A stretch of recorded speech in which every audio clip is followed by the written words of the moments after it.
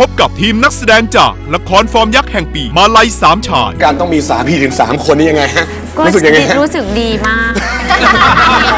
ต้องรับบทเป็นโสเภณี